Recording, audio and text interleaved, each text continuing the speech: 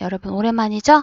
시험 끝나고 나서 한 한 주 정도 우리 쉬어가기 했는데 자, 다시 새로운 마음으로 시작해 보겠습니다.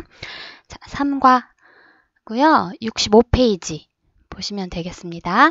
영상 보면서 교과서에 노트 필기 해오세요.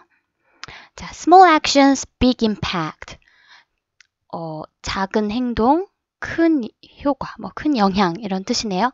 자, 작은 행동들이 모여서 뭔가 큰 영향을 미친다. 이 단어는 환경에 관한 내용이기 때문에 어떤 환경을 위한 작은 실천들이 어, 환경에 큰 영향을 미친다. 환경 보호에 큰 영향을 미친다. 이런 의미의 제목이 되겠습니다. 자, 첫 번째 문장. Going green seems to be all the rage these days. 이렇게 돼 있어요. 자, going green 하면 go green 하면 친환경적으로 어, 친환경적이 되다 이런 뜻이에요. 그래서 어, going green이니까 동명사 주어겠죠? 뭐뭐 하는 것, 친환경적이 되는 것은 seems to 뭐뭐인 것 같다. be all the rage 하면 엄청나게 유행하다 이런 뜻이고요. these days는 오늘날 요즘 이런 뜻입니다. 친환경적이 되는 것은 엄청나게 유행하는 것 같다. 자, 다음 문장. Stores and companies use phrases like this to promote their businesses as eco-friendly. 자, 상점이나 회사들이 사용합니다. 이런 문구들을. 자, 여기서 like this. this가 가리키는 건 뭘까요? 이와 같은 문구는 뭘 말하는 걸까요? 이거지? going green을 어, phrases like this 로 받았고요. 자, 여기서 끊고 to promote, promote은 홍보하다 이런 뜻이에요. to promote, 홍보하기 위해서 여기서 투부정사는 뭐뭐 하기 위해서라는 부사적 용법으로 쓰였습니다. 자, 그들의 사업을 뭐라고 홍보하기 위해서일까요? 뒤에 eco-friendly, 친환경적인 이란 뜻이죠. 형용사예요. 자, 친환경적이라고 홍보하기 위해서 어, going green이라는 친환경이란 문구를 사용한대요.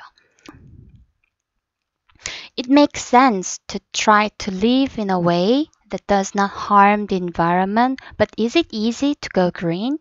자, it makes sense. 자, make sense 하면 이치에 맞다, 타당하다 이런 뜻입니다. 자, to 이해하는 것은 타당하다, 이치에 맞다. 여기서 it은 가짜 주어고요. to 이하가 진짜 주어입니다. 자, 해석해 보자면 try to live, 살려고 노력하는 것. 자, 근데 어떻게 살려고 노력하는 것? in a way that 하면 해석할 때 that이야한 방식으로 라고 해석하면 돼요. 자, that 관계대명사 되시죠? 주격 관계대명사예요.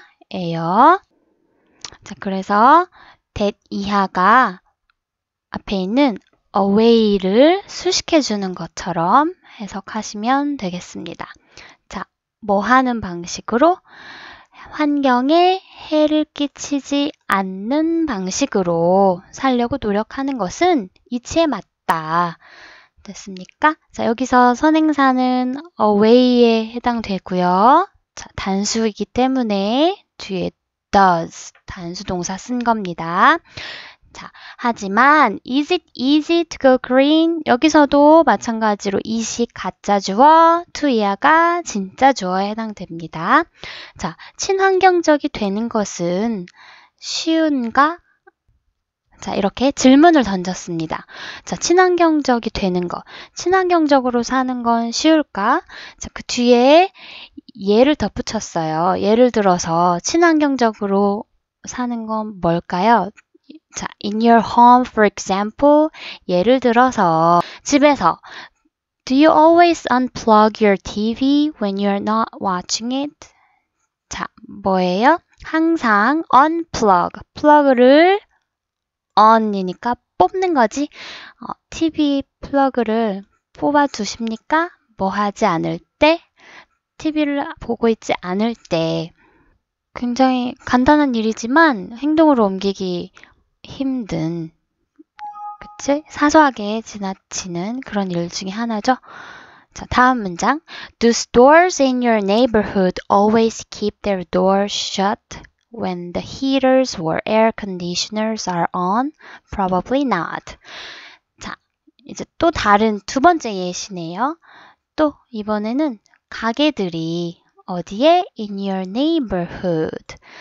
너의 동네에 있는 가게들이, 상점들이 항상 keep their doors shut. 문을 닫아놓은 상태로 유지합니까? 언제? 어, 냉방, 난방기나 air conditioners, 냉방기가 on, 켜져 있을 때 아마도 아닐 것이다.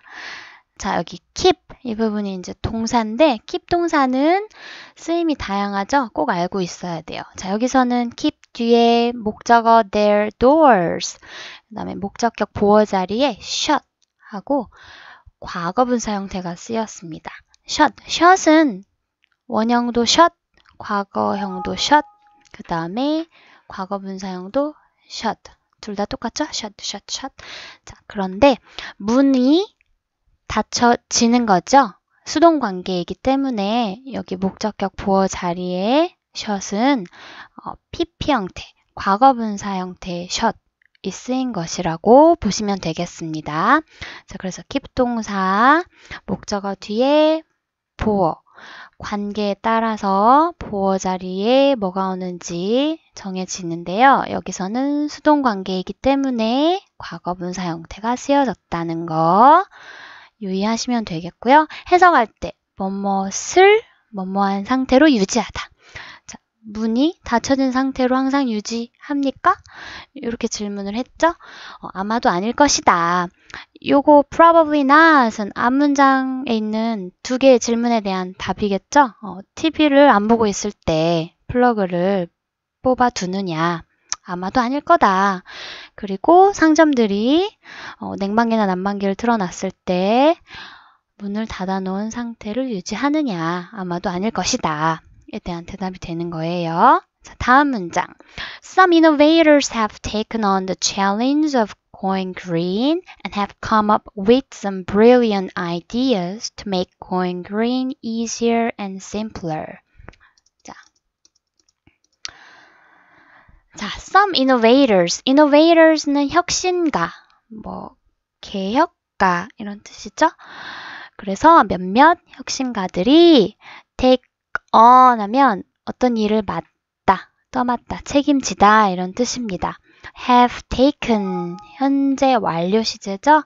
맡아왔습니다. 어, 과거부터 현재까지 쭉 어, 떤 일, 영향을 미치는 일을 표현할 때 우리 have, pp 현재 완료 시제 쓰죠. 그래서 과거부터 현재까지 어, 뭘 맡아왔어? The challenge, challenge 도전, 어려운 도전 과제들을 말하는 거예요. 어떤 도전 과제인가요? 여기서는 going green, 친환경이라는 어, 친환경적이 되는 것이라는 그런 도전 과제를 맡아왔습니다. 그리고 자, and 앞뒤로 병렬 구조이죠. have come up with some brilliant ideas.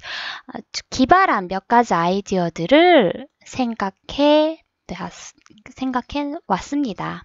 어. 됐나요? 어, 아이디어를 어, 과거부터 지금까지 어, 내놨단 얘기겠죠? 자, 이하가 ideas 꾸며주고 있어요. 자, 어떤 아이디어? make going green easier and simpler. 어, 친환경적이 되는 것을 어떻게 좀 더 쉽고 좀 더 간단하게 만드는 그런 아이디어래요. 됐습니까? 퀴즈 안 내면 서운하니까 이 그림을 보고 자, 여기 빈칸 네모에 들어갈 우리말 들어가요. 땡땡땡땡 내 단어는 무엇일까요? 어, 답을 아시면 댓글에 정답을 적어주세요. 1, 2, 3등 상품 드릴게요. 네, 수고하셨습니다. 바이.